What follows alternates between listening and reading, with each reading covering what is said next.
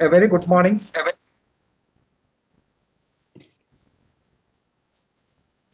Morning, sir.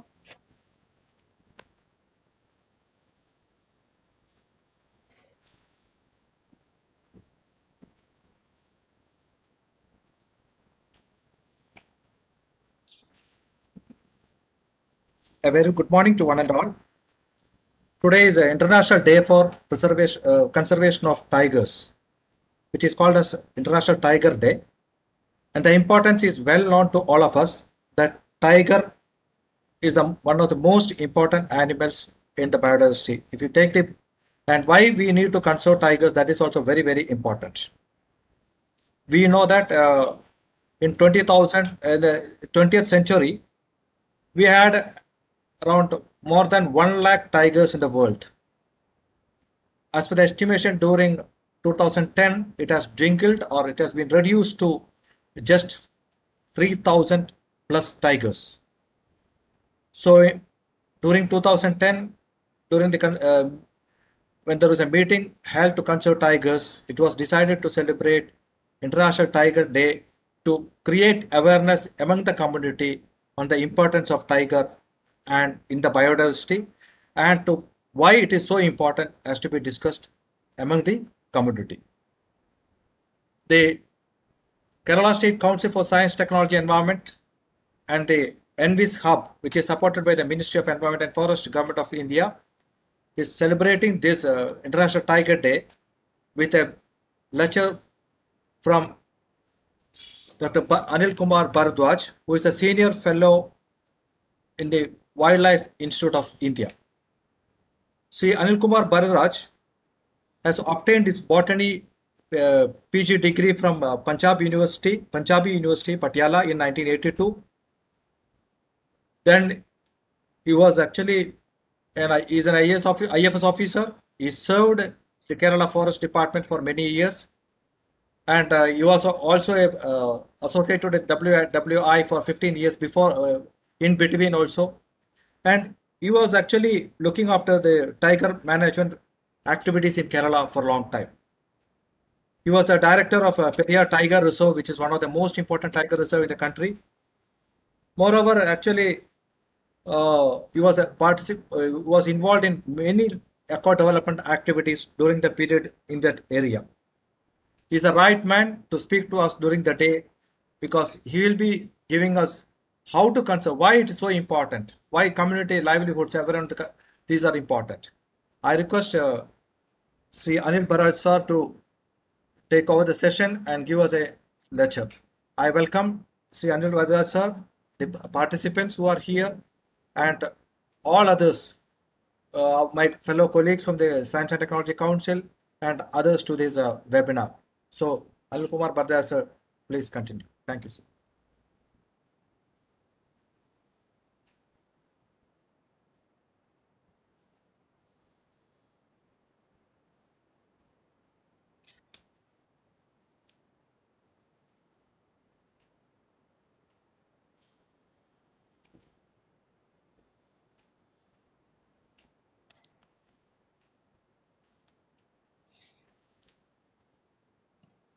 Kumar Bharadwaj sir, your mic is not on.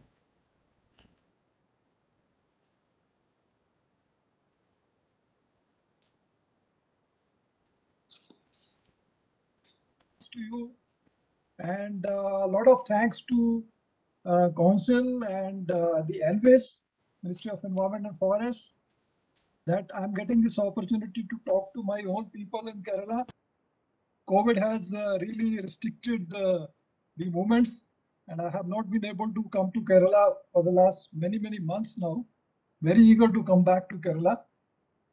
Uh, my uh, congratulations on this uh, International Tiger Day to everybody, all the participants. And uh, let me begin with you know, one small thing which uh, I wanted to share before this uh, presentation begins. I remember in 2006, uh, we had uh, a training class in uh, Periyar. And one of the resource persons who was invited in this was a very old person. He came there And uh, I mean, he shared his experiences of, uh, you know, uh, of the time when he was in Periyar. And uh, he ensured that uh, before he leaves uh, after this program, he goes to so many uh, tribal uh, families in the nearby, you know, Manakudi and Paliakudi. And uh, he also had brought a lot of, uh, you know, gifts with him to be given to all those, uh, you know, families. And this gentleman was uh, none other than Mr. Nanu Nayar, who was, you know, probably the, the first officer in Periyar who could venture inside the tiger reserve in the core area and deep inside the forest and explore Periyar. Not only that, he was a field field man, but uh, he also, um, you know, had a very very you know good relation with the local people there. And yesterday we we lost uh, Mr. Nanu Nair. He expired yesterday. So I just wish to convey my you know prayers for Mr. Nanu Nair that his soul may rest in peace. And I thought I must mention, you know, this uh, gentleman who had been uh, a very important person for Periyar during those times. Uh, to begin with this, uh, my presentation, uh, let me also uh, say that, you know, when I was asked that on what topic I should be comfortable to speak, so I, I told, I think the communities and the livelihood, that, that was, you know, my focus always.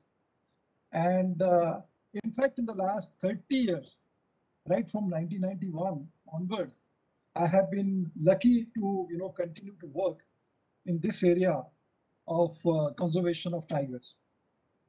And uh, as already uh, mentioned, um, that, uh, you know, I, I had the opportunity of working both inside the state as well as outside in Wildlife Institute of India. So I had some experience of, uh, you know, the, uh, the Kerala and uh, the other states in the country.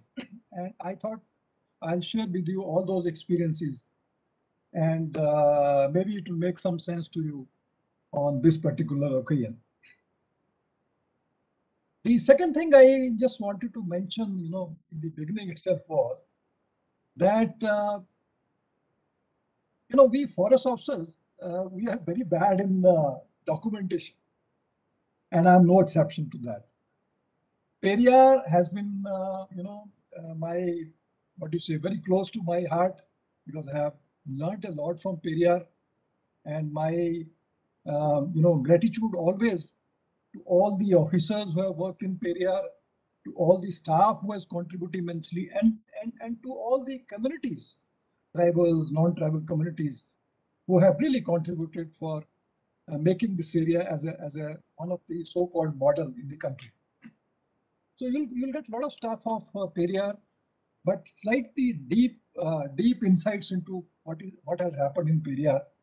And of course, then from Periyar, we'll move to the other areas. But one thing which you'll realize in this is that most of you know good practices which are coming so far uh, will be from south, and gradually we are exploring that what are those good practices in uh, in the other uh, states, northeast, or we have in the central part of the central Indian uh, landscapes. So we will be talking about that. I also want to mention here that uh, when I said that you know we are very poor in documentation and writing, and my daughter was in fact you know always behind me. That see such a large experience uh, which is there, why don't you document it? And uh, with you know her leadership and uh, her lead, she has been able to document the story of Periyar. Uh, it was a, a small IUCN initiative of you know bringing out case studies, and uh, I really want to mention her name. That she was the force which has ultimately looked deep into the you know the experiment of Periyar, and uh, she has tried to you know, document uh, this initiative. Let me begin with the uh, you know this slideshow. I hope I'll be able to do that.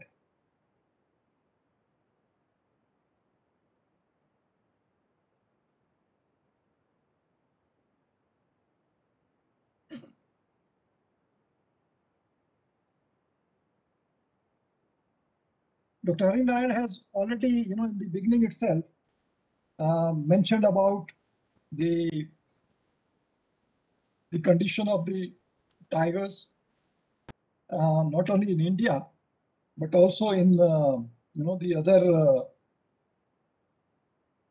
other parts adjoining India.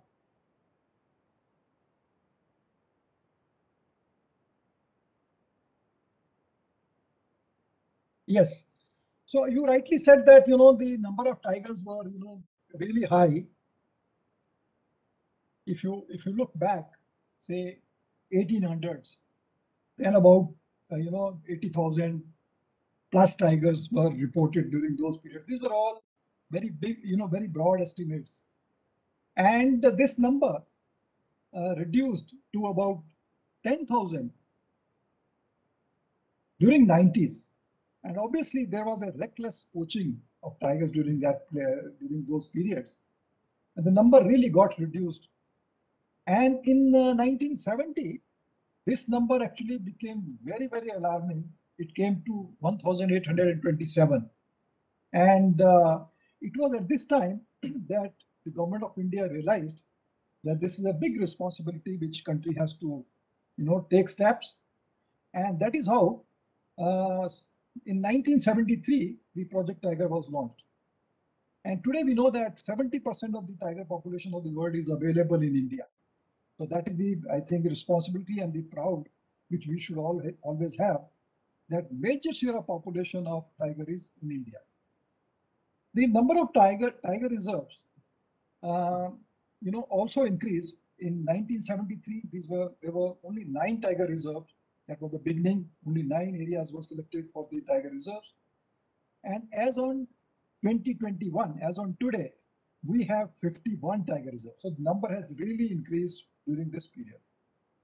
There had been ups and downs as far as the, the Project Tiger is concerned.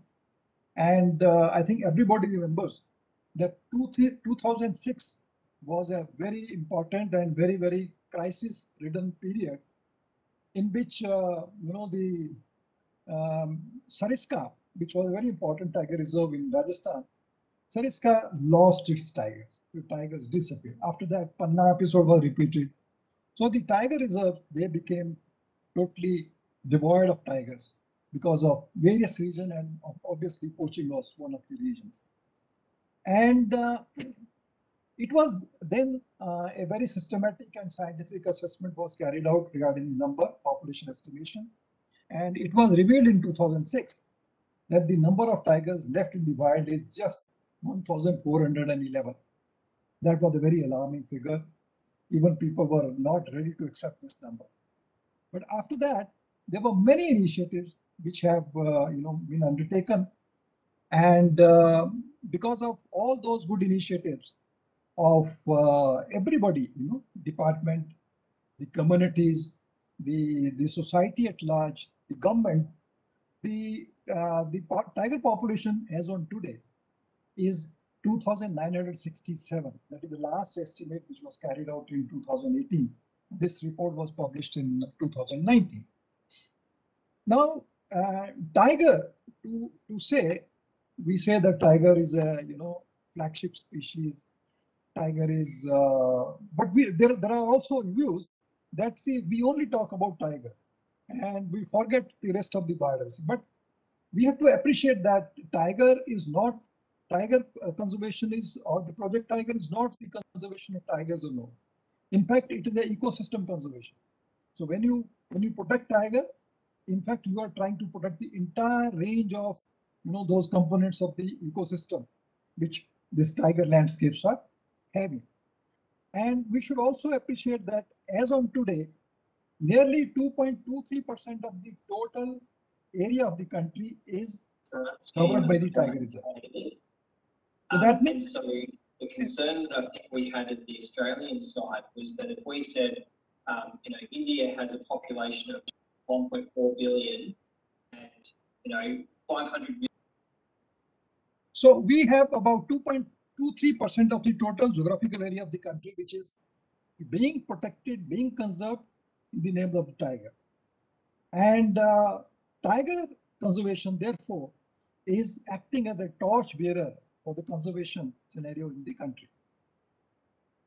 Let me come to the next slide.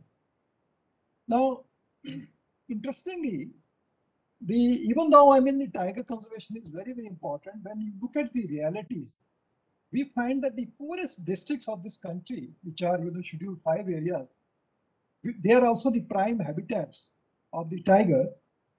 But these are the areas which, which overlap with the poverty. So areas which are very important from tiger point of view, from conservation point of view, they are the poorest parts of the country. Therefore, protection of tiger is, we, we understand that the protection of tiger is uh, possible only if we protect the forest in which this tiger is roaming about. And if you really want to protect the tiger and the forest, then you cannot ignore the people. So that is why we say that the protection of these forests is, is itself inseparable from the fortunes of the people who in India inhabit forest areas. So this was a quote from the Tiger Task Force report 2005. So if you have to really protect tiger, then you have to ensure that the people of this area, they are also know, properly, uh, properly treated and they are also, their, their well-being is very, very important if you really want to ensure the conservation and if you really want to ensure the well-being of the tiger. Now look at the scenario of the, uh, you know, conservation. Uh,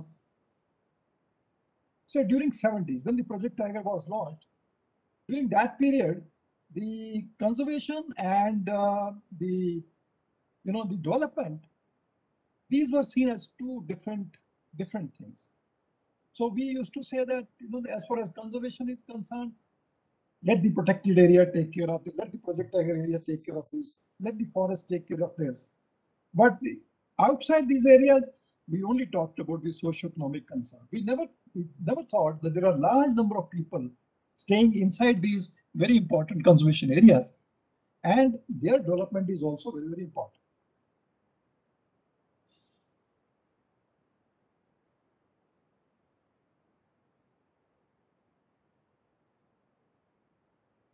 As on today, now there is a you know gradual realization that if you have to talk about conservation, you have to also take care of the communities which are staying either inside these tiger reserves or they are staying on the fringes of the tiger. Therefore, there is an overlap between conservation and development. And this overlap, both in time, space, and thinking, we call in different ways. We call them as buffer zone, we call them as the mutual impact zones, we call them as the areas where we have to operate the participatory management, we call them areas where we are implementing the development program. So it is not only in terms of the area, it is also in terms of our activities, it is also in terms of our thinking. And this is how there is a change as far as conservation and development is concerned. Now, the, the evolution of this thinking of the participatory management is, you know, it, it is very old. And I can take it back to 1982, when the third World Congress of National Parks and Protected Areas were held in Bali, Indonesia, where it was, you know, recommended, it was felt and recommended that the, the people, they are very, very important. You have to take care of the people if you want to really conserve the tiger and the biodiversity. And as you know, happens in any such uh, international conference, that we come come back the those who attend the conference, they come back. And uh, after coming back to the country, the task force was constituted by the Indian Board for Wildlife in 82. And it was supposed to recommend how we can go ahead if we have to implement the, the agreements which we had in the, in the conference. And fortunately, then the Indian Forest Policy 88, which provided a lot of space for the community participation, 90, uh, uh, 1990 Government of India's resolution on joint forest management. And it was in 1991 that a scheme, special scheme of eco-development around national parks, wildlife sanctuaries and tiger reserves. So this was a you know outcome of so many things happening in the past that a special scheme which was anchored by the Project Tiger Directorate that was initiated in the name of the eco development. In other countries, we call it conservation development, conservation development projects. But in India, we call the eco development programs. Now, any program, when you start implementing, you don't know, you know, how, how we have to go about it. And uh, here comes the role of the, you know, the projects, because projects give you a, a, you know, space for experimentation, learning, and then you can roll out the entire program. And I would like to mention at least three very important projects which were implemented. One was the Forestry Research Education Extension Project of 1994, World Bank project. Another was the UNDP WI project on management and eco-development planning, which was purely a capacity building project. And the third project was the India Eco-Development Project, which, you know, Periyar was, Periyar was one of the sites for that. The Forestry Research Education Extension Project was, you know, implemented in two sites. One was the Kalakad Mundanthurai Tiger Reserve, very adjoining to, you know, Kerala. And uh, another was in the Himalayan region. So Western Ghats and Himalayan region. They took two different uh, areas. So in the Himalayan region, this was the great, uh, great in, GHNP, Great Himalayan National Park and in uh, Western Ghats it was the KMTR, Kalakad Mundanthurai Tiger Reserve. India Eco Development Project actually gave a lot of insights. How do we go about it? Just like the, the Forestry Research and Education Extension Project. And WA project, UNDP project gave the required capacities to implement such program.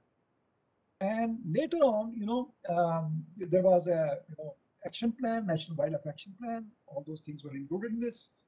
And the um, 2006 was another very important year when uh, the Wildlife Protection Act was amended to make uh, certain changes which are very critical. And uh, I, later I will uh, let you know that how Kerala has played a very important role uh, as far as the amendment of 2006 is concerned. And this is how Kerala has done certain things which has national level and regional level implications. I think that is what we have to understand when you are in Kerala, when we are all working in Kerala, we don't appreciate and we don't understand what we have been able to do. But when you go out and then you realize the largest scenario that Kerala has played a very important role in this. And latest, I think the, the Forest Dwellers Act, that is another very important thing where, where you know, the, the communities, they've come to center stage as far as the, uh, the conservation of the forest is concerned. Now, eco development, which I mentioned, and this is basically uh, approach for community participation and uh, participatory management of the protected areas in general. Of course, the tiger reserves, you know, we, uh, form part of that. Now, the reason was very simple that the traditional approach of policing was not yielding result. A lot of conflicts were happening. And uh, there was a need of uh, alternative approach, which came in the form of the eco development and uh, certain you know very important ingredients of eco development when we say eco development site specific it is a conservation friendly it's a you know through community participation. So these are some of the elements which you know any eco development program must have. So eco development in one area may differ from another area. That's a different issue. You, you may have different type of things but the fundamental principles will always remain the same and ultimately, it is trying to see that how we can involve the communities in conservation through their empowerment. And basically, the aim is to sustain participation through developing an environment that encourage, encourages the mutuality of conservation and development. How do we merge these two interests? And empowerment is very, very important. And these signs of empowerment are something which you have to really perceive in these experiments do we have those signs of empowerment in our program? If we are not able to, you know, have that empowerment, then such programs are not going to sustain. And of course, it is an interdisciplinary culture. It is no more forestry. It is it is sociology. It is development. It is everybody's concern now, because you are talking about the conservation in a in a different platform with a different type of objectives. Now, with this, uh, you know, participatory approaches and uh, the eco development, as on today, as on today, we have two very important models. And uh, I mentioned that the Kalakad Mundanthurai Tiger Reserve is a very prominent model, older than Periyar even I'll say.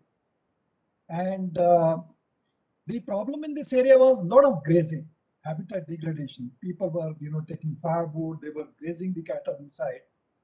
And uh, through these programs, they have been able to generate a mass support, emotionally charge the communities for the conservation of the tiger reserve. And they say that save KMTR, save Thamirabarani. So that means the river, river and water has been, you know, prime focus of the communities. And this is how they have been able to this make this area as a uh, as a model. And as on today, this figure is slightly, uh, you know, stale. I, I have written 11 crore corpus, but I think it is about 20 crore corpus of money which is being circulated among the community. So they loan, re-loan, get it back, and this is how they have multiplied this this corpus, and this is being used for you know small small activities for the well-being and for the livelihood of the local communities.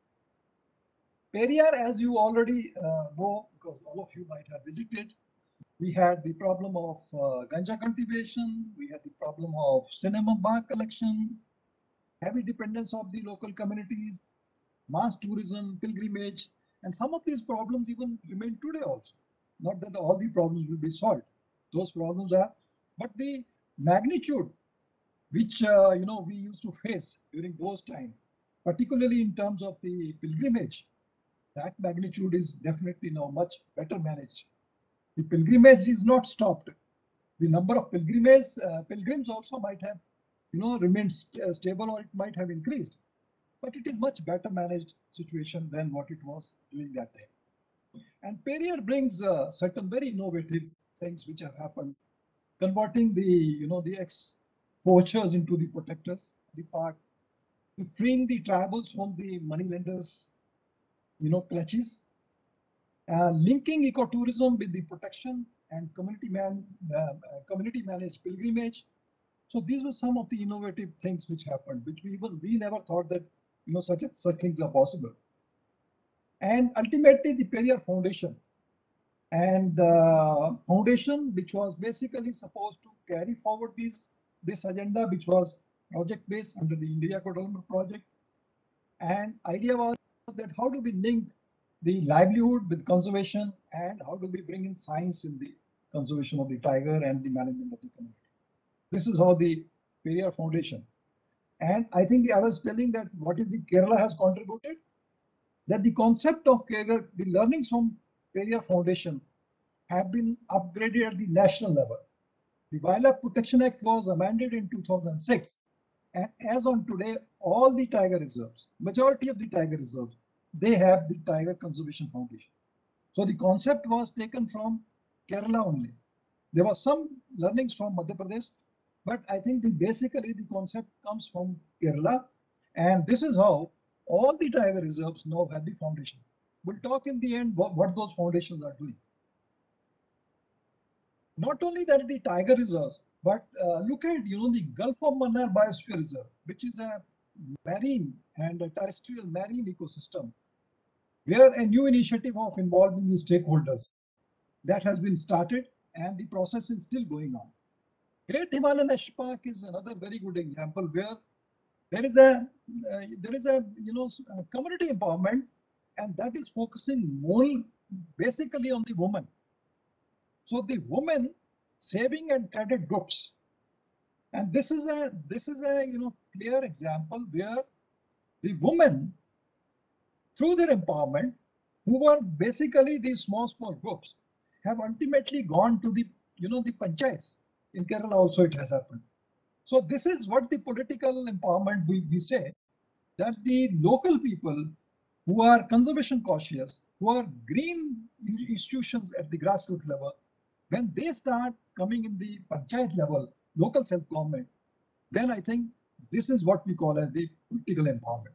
That you have a you have a you know a panchayat which is much more cautious about conservation, much more conscious about how to protect these areas, and this is how uh, you know the uh, Great, uh, Great Himalayan National Park provides a lot of experiences. Parambikulam Tiger Reserve, you know, I, I like to share with you that when I, you know, after serving in uh, area, I went to uh, Wildlife Institute of India.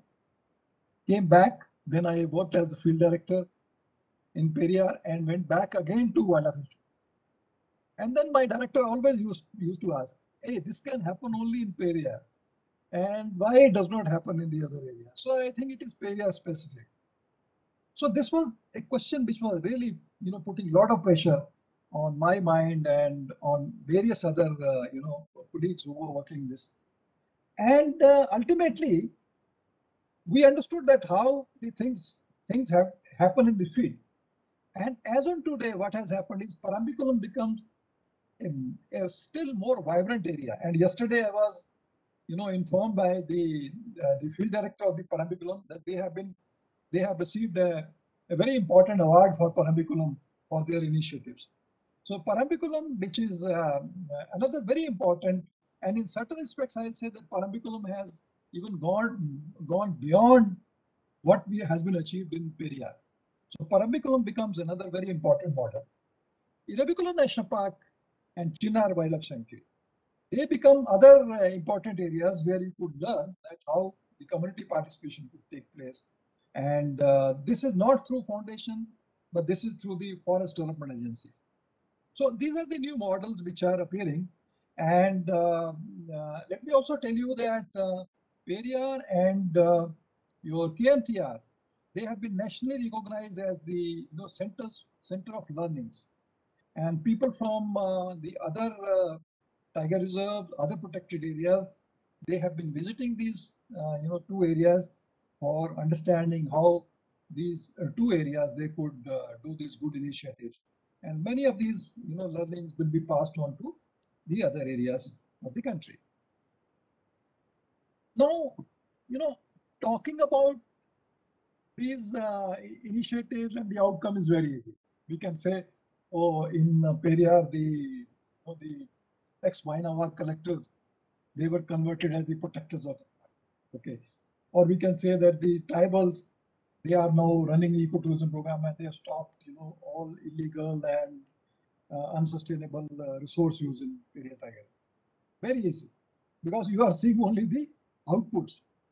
But what has been the inside story, what has been the process is something which is which will never be known unless you document it.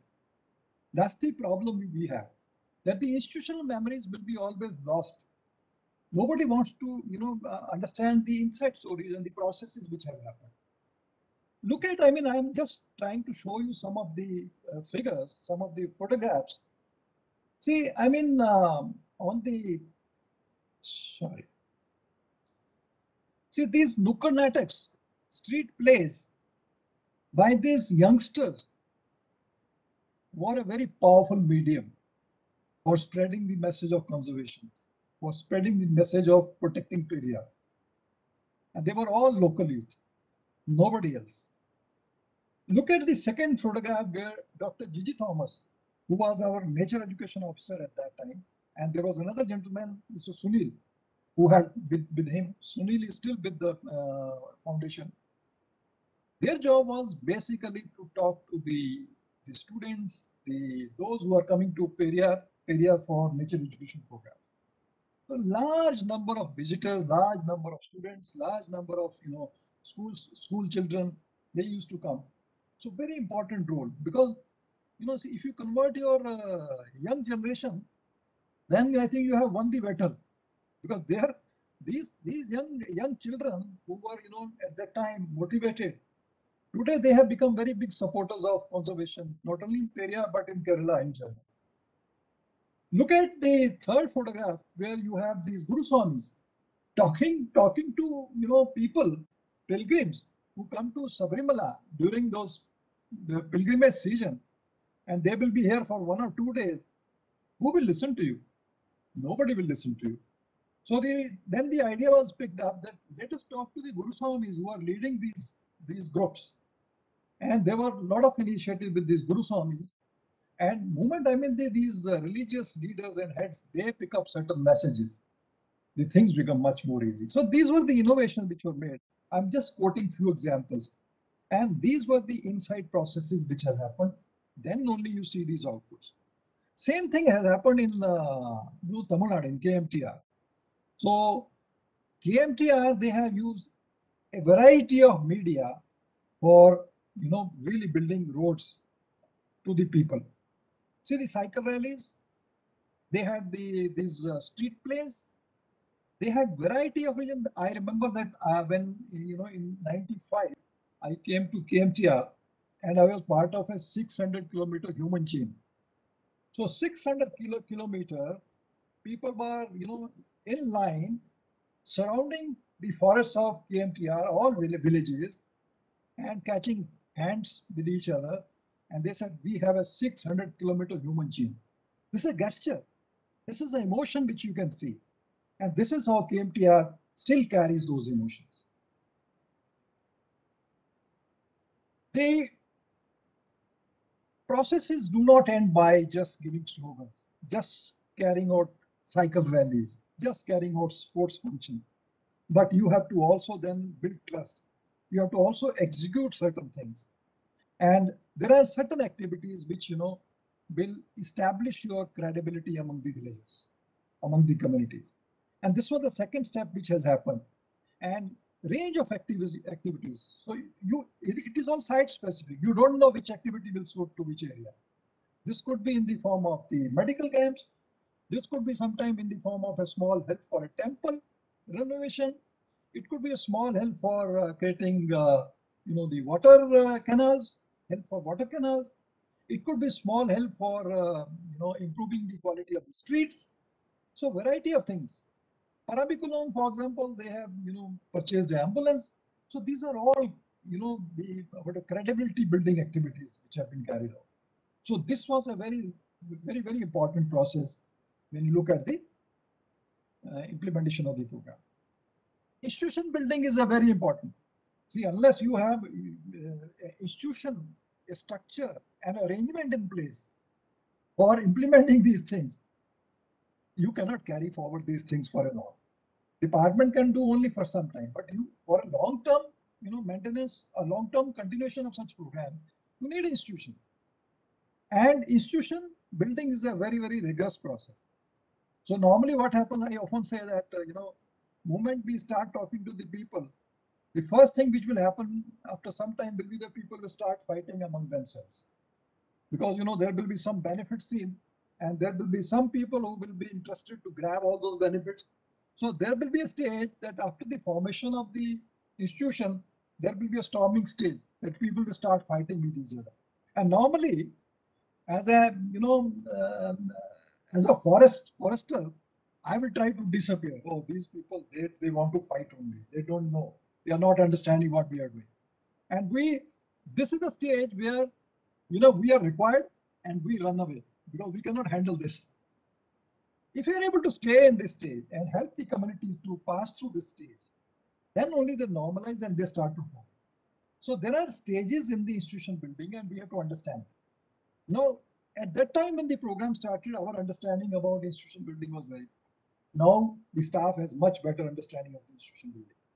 And uh, so the institution building is a very important process. It takes time, it takes energy, it requires different skills among the staff. And this is what has happened is in, in most of these areas. Whether these are institutions of the level of the foundation, whether these are institutions of the level of eco-development committees, or these are of the self-help groups, or these are of the, you know, the other uh, nature clubs, all these institutions, they require an institution building process. Because without this process, any institution is a, is a body. And institution will become only if the body gets the soul. So the process is a soul. Soul illata, there is there is nothing. You know, body is only body. So I think the process inculcates the soul into these these bodies, and that is how those group of people, chairman, vice chairman, secretary, and your members, they get converted from an organization into an institution, and that is what the, the you know the complete game. Now comes the you know the implementation that what should be done? How do we implement the program? And uh, the, this this learning also has evolved over the time. So there could be many things which can be done on form. I mean, those could be using the, their own resources. It could be, first of all, strengthening the trust. building confidence among the communities. It could be the managing the middleman. What normally happens in a you know poverty-ridden area, that maximum benefit is taken by middleman. I'm not telling the middleman is a bad bad guy. Middleman is required. But if the 70% of the you know benefit is going to the middleman, then how the producer, how the you know the beneficiary, what he will get. So I think managing the middleman is another very trick. So middleman has to get a, a reasonable amount, but I think the maximum benefit has to go to the, and this is what we have been able to do in Periyar. When we, you know, um, um, we saw that the tribals, they, they cultivate and harvest their own apple. So this was basically managing the middleman game. Intensification of agriculture. How poorly we manage the agriculture. Because this is just a half-hearted effort because you know the, let us also understand the tribals they were not originally the you know the farmers. So the tribals who have been in the forest areas when they have come out agriculture is something which is a new profession for them and they have not learned it with their heart and soul. And intensification of agriculture never thought of that. So intensification of agriculture diversification of agriculture. Pepper one season there could be a good price, another season there could not be a good price. So you need a diversification of the crops. Marketing, a community is, is not as good in marketing, particularly tribal community. Value additions, organic farming, certification, these are the new innovations which can be done and which could fetch them better prices. Building institutions, livestock improvement, particularly in West Bengal, you know, a lot of effort has been made on the livestock because there is a you know already a, a, a knowledge and a skill of livestock management in those areas. And uh, department has tried to focus on the livestock sustainable resource use management can also be there. Because you know the biodiversity conservation does not mean that you protect everything you know. You have to also use biodiversity in a sustainable way. That is what the you know the biodiversity conservation strategies talk about policies talk about. Non-food uh, wood forest products, medicinal plants, forest honey, vermicomposting, value addition, marketing. In Kerala, we have this institution of Vanalakshmi. I think this is one way, one way of proactive marketing of the produce. And sustainable fishing. Some of the areas like Periyar, the, the fishing has become sustainable. Similar things have happened in Madhya Pradesh also, Madhya Pradesh, Maharashtra also. So fishing is another thing, but fishing is something which even sanctuary you can allow. Warden can allow fishing, provided it is sustainable. So I think these are some of the innovations which can be done by using the natural resources. There could be certain things which are what we say the alternatives, off-farm activities, enterprise development, NTFP products and marketing, handicrafts, trainings, tourism products, small businesses, eateries, this has been very, very nicely, you know, used in KMTR. Soap making piggeries, this also is an innovation in KMTR. Poultry, fish farming, a lot of such experiments have been done in uh, West Bengal. Horticulture, Northeast, there is something, you know, on horticulture and in, in Kerala also it has been tried. Responsible tourism. I think responsible tourism, we have now very good lessons from uh, Periyar, KMTR, and few other areas, not many areas where you know, the tourism is really helping, but we are now trying to understand that what are the other areas where such good, good practices are happening.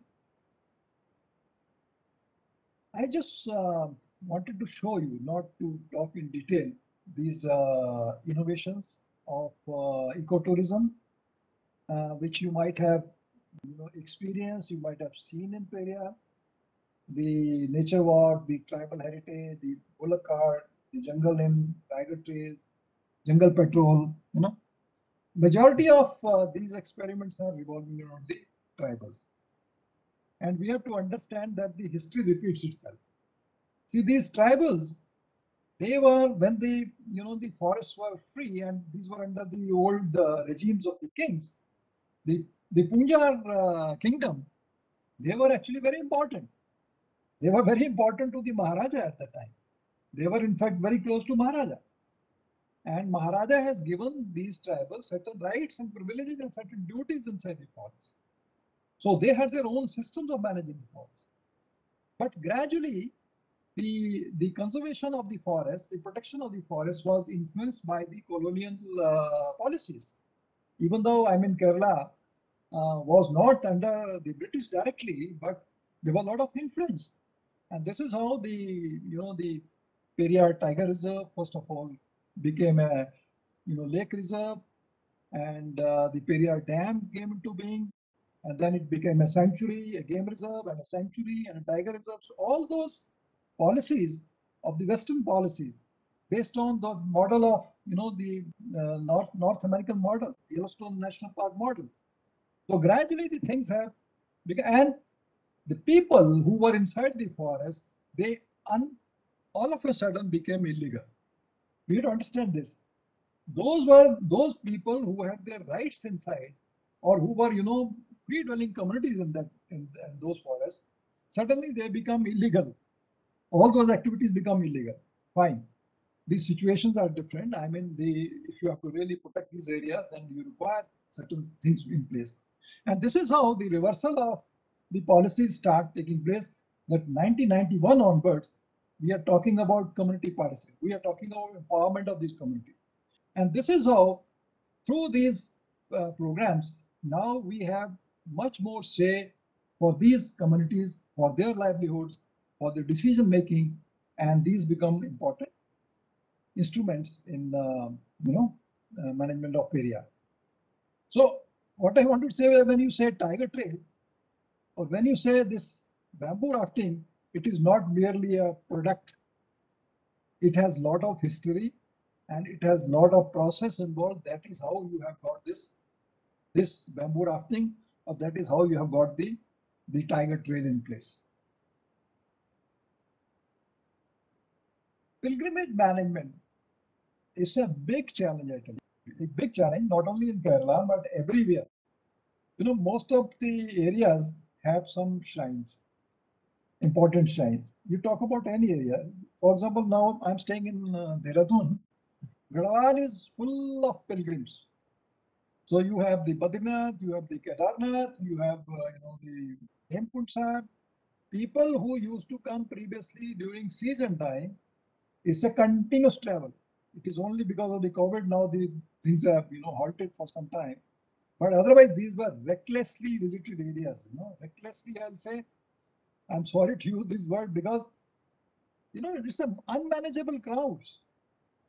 And uh, how do you manage such crowds and how do you make such crowds sensitive that they at least don't destroy the area to that extent? And I think this is the example which we should learn from uh, um, Sabarimala that during 90s, the way the things were happening in Sabarimala and during 2021, there is a lot of difference. People have become much more aware and there are certain systems in place and the local people have played a very important role. So all those happy disease, they have played a very important role and uh, something uh, to be learned from uh, Kerala. Women empowerment. So uh, women empowerment is another story which has happened in um, in um, Kerala and Tamil Nadu and many other areas now. These are some of the pictures where the women are playing a very important. Vasanta Sena is a is a not not only now um, uh, an example being cited nationally, but also example being cited regionally and globally. That how the woman can take up a role for protection of the forest. Similarly, the you know large involvement of women in Northeast, there is a very heavy involvement, very you know high involvement of the uh, the uh, female population of that area. And these are through different institutional arrangements, self-help groups, and variety of other groups. So women empowerment is another lesson which has come. Ultimately, protection. So the protection today is not only the forest department staff, but also it's a protection where the there is a second string of the communities. There are good examples from Kerala. There are good examples from Tamil Nadu. There are also good examples from Kaziranga. Kaziranga also now, the locals, they have been involved in protection and uh, they have the eco-development committee similar to what we have in Kerala. and they are we are trying to investigate how they are doing. There must be some difference as far as Kerala and Kaziranga is concerned, but Kaziranga is another very important area where such uh, things are. And this is this is a typical social engineering. It's not that you told the people that come and protect. It happened.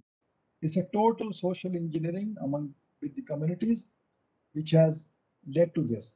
I'll just cite you one example that how the the minds of the people they will work.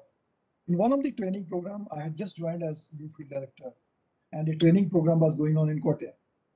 And I asked uh, in the training after the training program, I sat for some time. I asked the community, what did like in this training program? And after a lot of thinking, one of the ADC member he says, "Sir, we liked one uh, lecture from one retired vice chancellor." So I told, "What was the lecture?" He said, "The lecture was peace and development." So I was surprised and shocked. How does peace and development is associated with eco development? So I told, how does it relate with conservation, tiger, periyar, peace and development? And he said a very important thing which I carry even today. He said, one of the important learning which came from this session was that most of the time we keep fighting either with the forest department or among ourselves. And unless there is peace, you cannot develop. So if you really want to develop, then you must have ensure that peace is there. So this was a very simple statement, but very important statement. And I often give this example. And this came from the same, you know, EDC, a tribal member of the EDC who understood this, this training in, in this form. And that makes a lot of difference. Sustainability of these programs is very, very important. And we are really struggling for the sustainability. Different models being tried. And uh, I must cite now, uh, look at uh, what we have in, you know, Periyar, because Periyar has implication for the larger, uh, you know, institutional arrangement in the country. That uh, previously Periyar was being managed by, you know, same the deputy director, the field director, the range officers, and the staff. And we were doing everything. So we are doing protection, we are doing research, we are doing you know, nature education, we are doing communities, everything we do. But constitution, establishment of foundation, which now we call as the Periyar Tiger Conservation Foundation. Previously, it was the Periyar Foundation. It has really brought about a division of labor. Now, there are now broad areas which are very clear.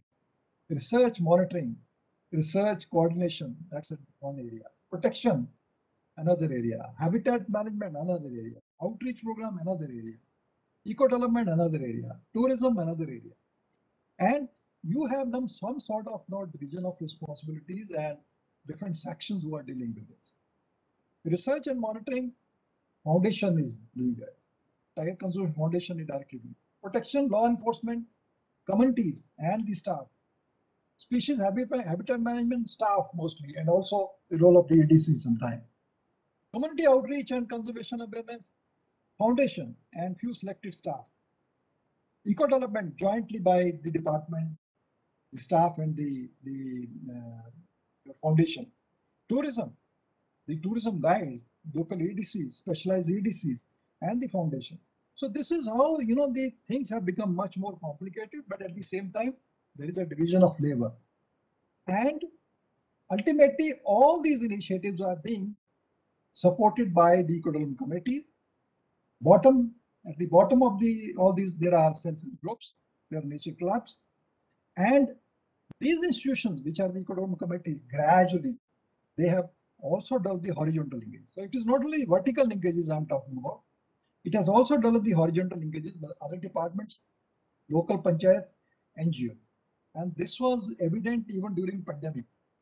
When we asked this question, we had a survey during those uh, you know pandemic pandemic times, first wave, and the, it was revealed that there is some sort of sense of empowerment which is appearing. The some of the EDCs, they have not only you know uh, waited for the forest department to come at their own, they had established their linkages with panchayats and other departments, and they have really taken up some of the initiatives for control of the uh, you know the pandemic. And uh, this is how the you know the arrangement has become much more uh, much more better as compared to before. Now, nutshell, I'll say that you know the whole game is this livelihood. And uh, when I talk talk about livelihood, this this uh, tangle is very close to my heart. Livelihood, when we say, then the poor people they derive their livelihood from different type of assets: the human assets, the social assets, physical assets, financial assets, natural assets. Human assets, if they have any skills, local tribal they have their own skills. Social assets, people are together. They are you know, working together as a society they work, as a community they work. Physical assets, if you have land, if you have any other sources with you. Financial asset, money if you have. And uh, natural asset, your forest, river, water, whatever it is. Now, what is happening in the poverty-ridden areas? What is happening in those tribal, what was happening in 1990s, 95, those areas which are, you know, inhabited by these communities? Human assets, does not work.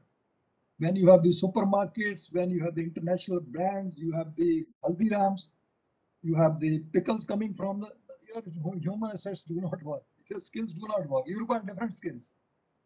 Social assets. Now it is not that same tribal who is you know working as a you know social entity. Same tribal is now sitting in his uh, house and watching a TV, you know, cable TV.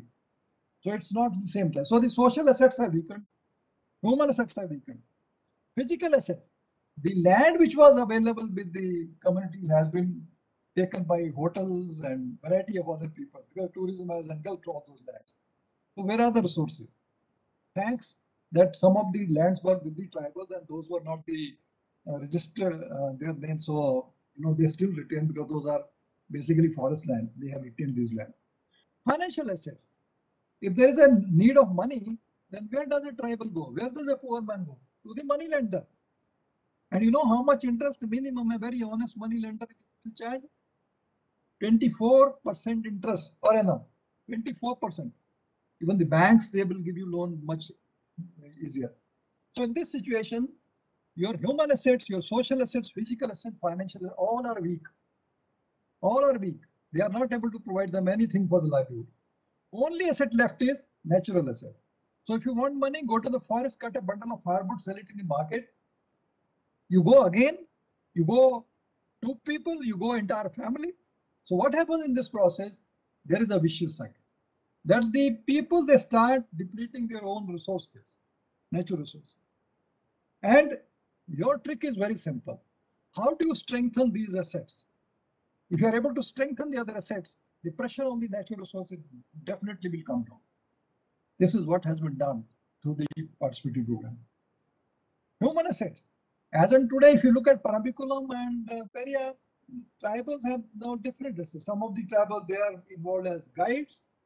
Some of them, they have their own vacation, some other other skills. Of course, they continue to do the same fishing also in some area.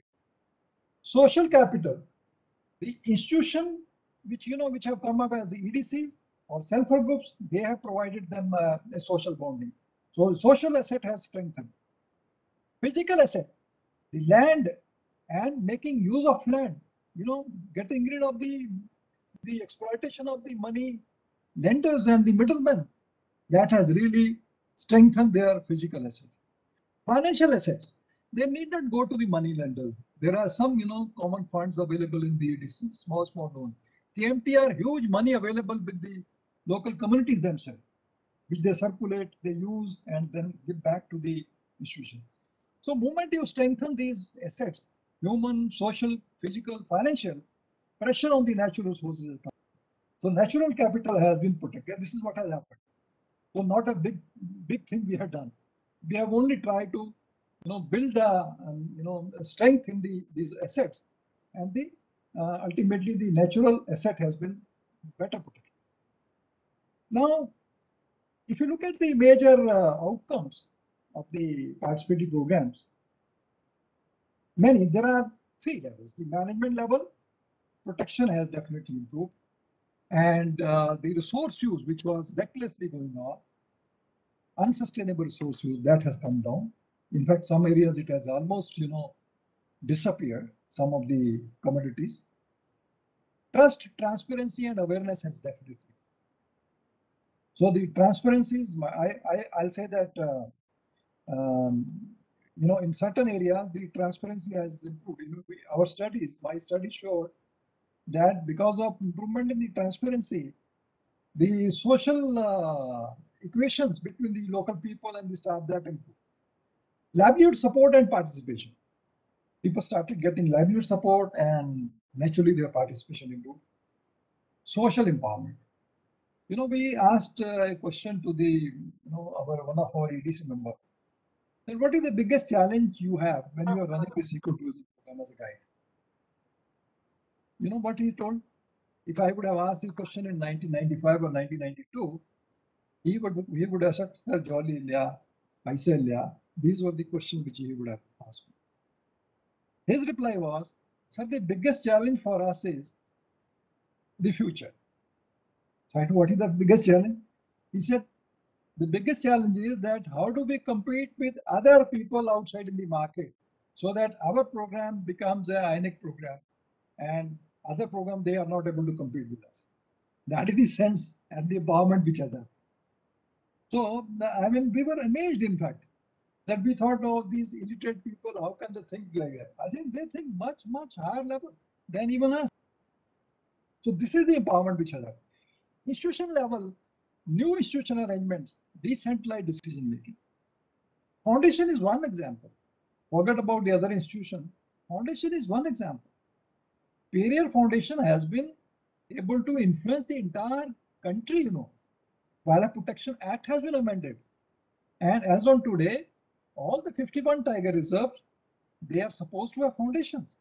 I'll talk about that, how many foundations are there and what they are doing. At policy level, legal changes. Can you imagine an experiment being done in one area and it can change the national act? It can lead to amendment in the national act. I think this is something which, you know, as uh, Keralites, we should really feel proud of this. That Kerala has been able to do that. We don't do that. So we think, okay, it is going on. Periyar, a usual experiment, Parambikulam, usual experiment going on, or Munnar, something is going on. But we don't understand the importance of this. You are being looked as very important, you know, uh, agents of change the entire country. And that is what we have to really appreciate and we should feel proud of that. Emerging support for mainstreaming biodiversity in development. This is another challenge. How do we ensure that the conservation does not only get restricted in protected areas, tiger reserve? Because you require conservation everywhere. You require conservation not only the forest area, even everywhere outside the forest area. That will happen only if other development agencies, they also have agenda of conservation in their program. If they also feel that our one of our objectives is also conservation, then only it can happen. This has started happening in, I mean, I'll say that I'm very positive it has started happening. For example, as on today, any new, new road being laid in sensitive areas cannot happen like that. 10 years, 20 years back, it was very difficult to check. They'll say road is the most important thing for communication. Who is the forest department? Who is the, what is this conservation? Today, if you have to, if you have to plan a road, National Highway Authority of India, if they have to plan a road, then they have to do mitigation. They have to really understand that these areas are important. When I was the chief of warden, you know, during 2017-18, then I remember that uh, under Bharatmala project, the National Highway Authority people, they have visited three times my office.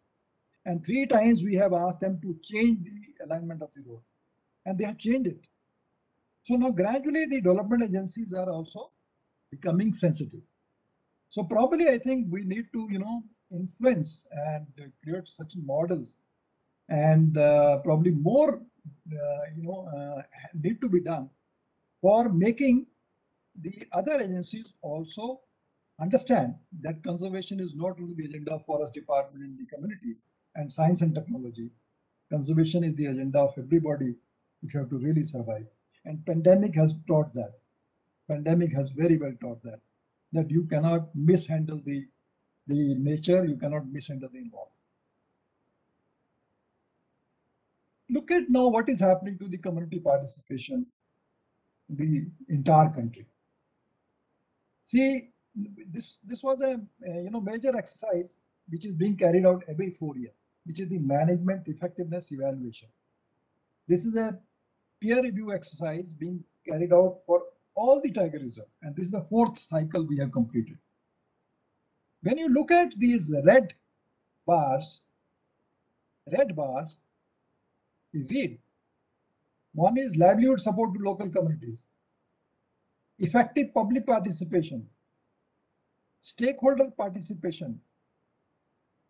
So even now, these issues, they, they are not very seriously being undertaken. These are still in the lower category as compared to funding, as compared to unified control, as compared to physical infrastructure, population trends, variety of other things. So these are still in the red area. So when it comes to the community participation, I think we need to do much more and much more seriously. So uh, it's not that uh, you know few models and few good areas can make a sense. You need to create much more models like this, and we are in search of those models. Let me tell you now. This is the last slide before I close the uh, presentation. That we have now, you know, uh, we are currently implementing a small study, very small study.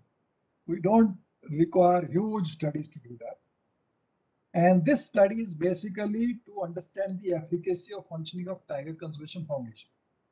Because I understand that the Tiger Conservation Foundations have a very strong institutional agenda of community participation and the community livelihoods, in addition to the science agenda and whatnot out of the 51 tiger reserve, now the recently one more tiger reserve has been added, added Siri Vilipattu um, uh, in uh, Tamil Nadu.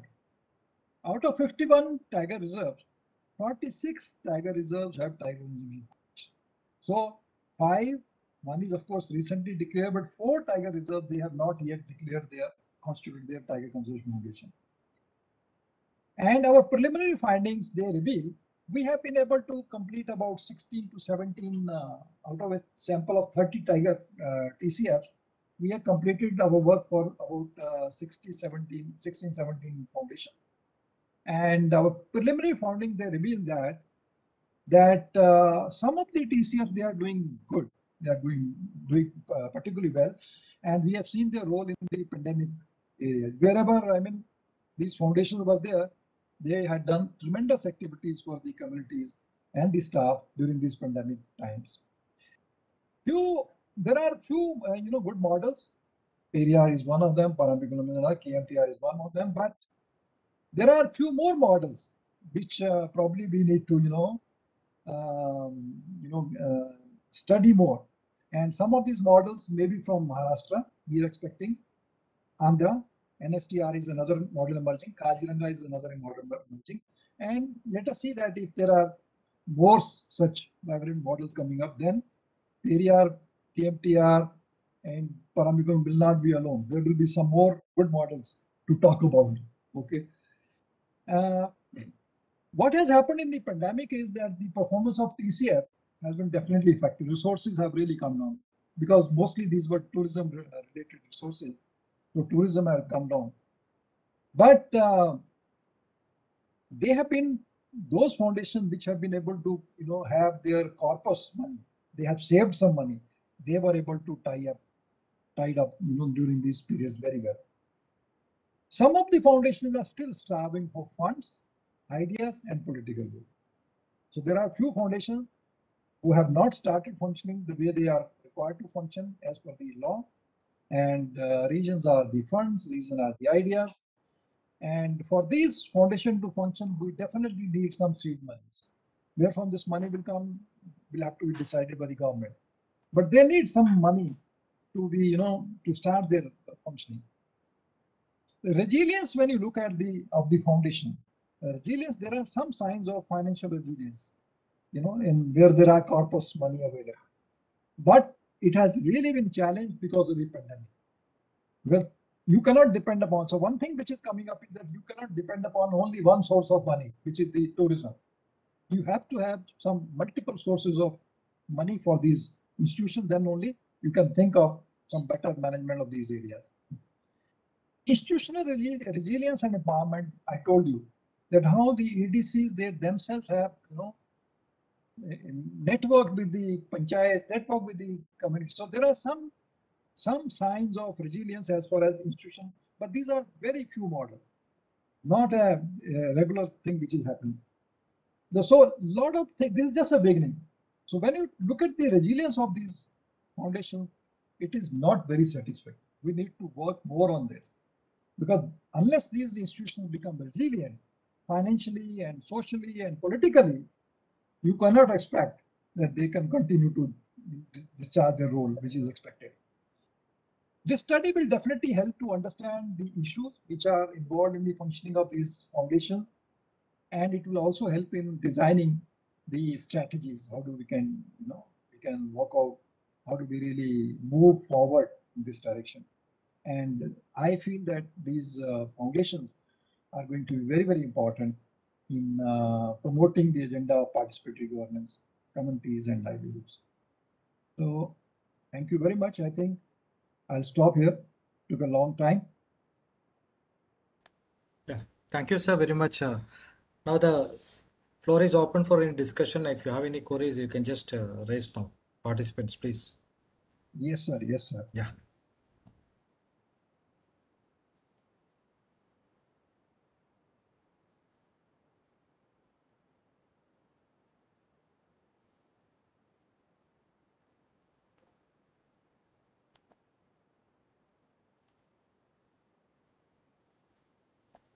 If anybody has a question, you can unmute and ask question. Okay, Sunita, please.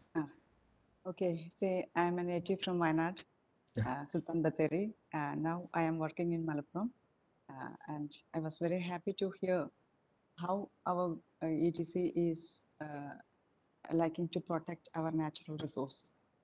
See, uh, I came here to Malappuram uh, from uh, 1999, and in my childhood days, I usually, uh, with my parents, walk into the forest, and there we were. We we usually um, uh, see the protection of forest, but Mhm. now in 2021, we can hear a lot of incidents that wild animals are uh, attacking people.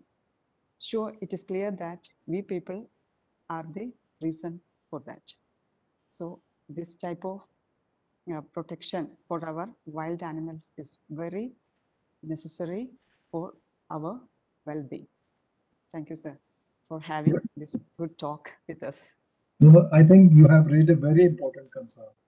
The you know biggest challenge for the conservation now is the uh, there are many issues, but one of the major, major challenges is the human and uh, everybody is concerned about it, nationally and state level.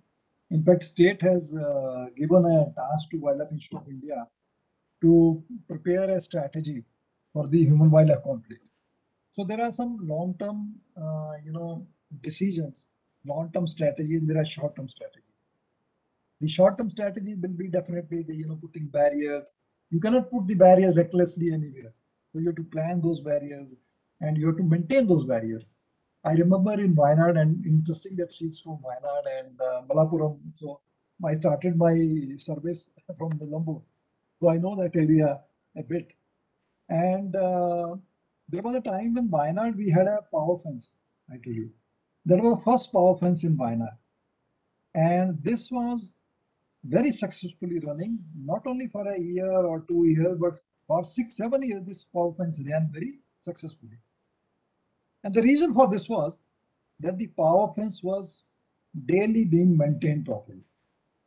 Okay. Now we have, uh, as the number of power fences have increased. So one is that, you know, we need to have some more thought process where we should have power fencing, where we should not have. Second is that the maintenance of power fencing is a, is a big challenge. We thought that the communities will be able to maintain the power fences. but not everywhere things have happened. So power fence, wherever you know it becomes weak, the elephants will come out. So that is one reason. Of course, the number of animals have also increased. So this is a big challenge, and a lot of people are working on this.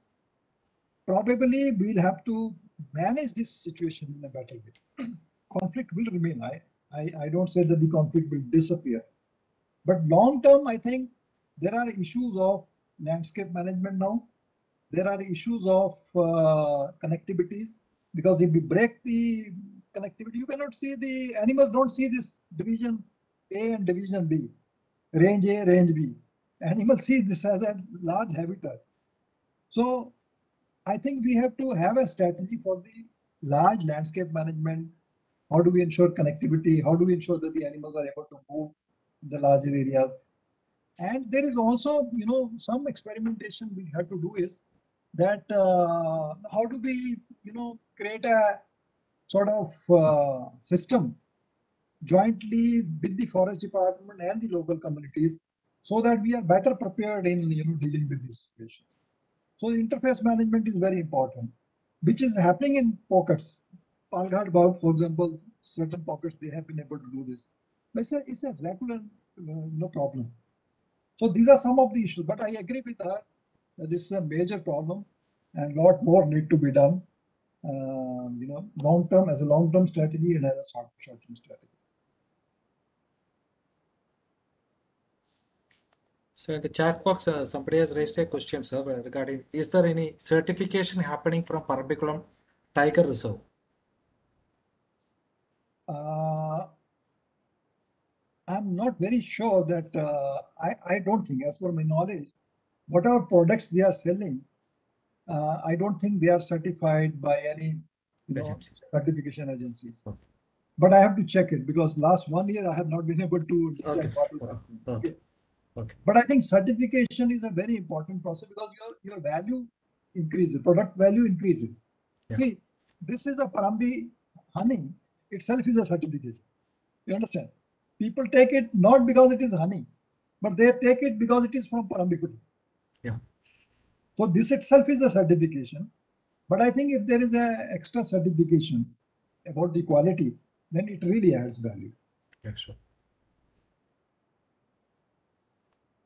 So thank you, sir, very much. Uh, I think you have shared your vast experience uh, working all over the country, especially with the Periyar Tiger Reserve and uh, in other areas of the country in WWF. And as we all know that uh, tiger being the umbrella species, its conservation is very, very important. And uh, uh, its uh, numbers are also were actually dwindling all these years and slightly increased over the last uh, 10 years. If you take the uh, numeration, we will see that there is a slight increase. So uh, conservation activities are actually taking place and it is a uh, good thing. So on behalf of uh, Science, Technology and Environment Council, I request uh, and ENVIS Hub, I request uh, the Program Officer of ENVIS Center, Dr. Sindhu, to propose out of thanks. Sindhu, please. Good morning. Today we had celebrated International Day, International Tiger Day. It's my pleasure to deliver vote of thanks during this event. First of all, I would like to thank our Executive Vice President, Professor K.P. Sudheer sir, and our Member Secretary, Dr. S. Pradeep Kumar sir, for their constant support and encouragement.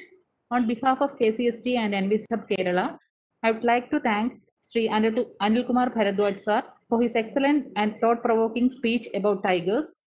I would also like to thank all the participants, including the staff from KSCSTE and ENVIS Hub, for making the program a big success. Once again, thank you one and all. Thank you very much. So thank you very much, and uh, I'm really delighted that I could, you know, talk to you people and you know share my experiences with you after a long time. And Yes, us sir. be in actually- touch. Okay.